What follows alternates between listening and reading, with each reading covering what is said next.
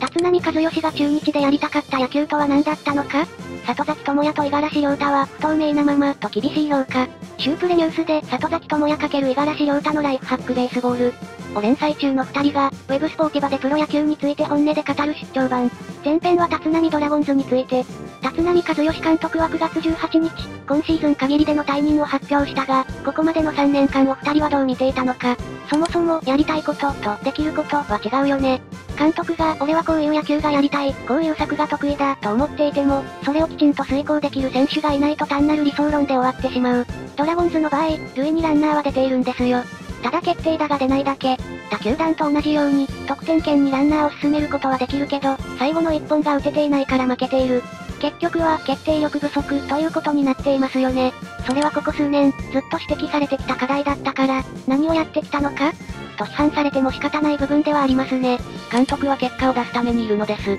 結果を出すためには、その過程に誤りがないか、効率的か、効果的かを判断しながら、改善しながら進めていくやろ。その前提から立浪監督の3年を見ると何がしたかったのかと言われても仕方ないな。ちぐはぐな采配や、不確率性の高い作戦をとって、チームの攻撃の方向性はどこなんだろう？個人的に立浪選手は嫌いではないけど監督としては評価できんな。立浪監督初年度は過度に忖度して各解説者も言葉を濁してたけど2年目、3年目と過ぎて堤防が決壊したようにダメだったとはっきり口にするようになったな。誰がどう見てもダメやったわ。チーム改革が目に見える形で進んでいればよかったけど、一部の野手入れ替えが行われただけで投手陣は放置、劣化して守備も向上したとまでは言えず打撃は全く得点できず、レジェンド立浪でなければ即クビだったのでは。試合後のコメントがもっと論理的だったり情熱的であったら監督の色が出たかもしれないけど、いつも解説者のような他人目線で受け入れがたかった。とにもかくにもお疲れ様でした。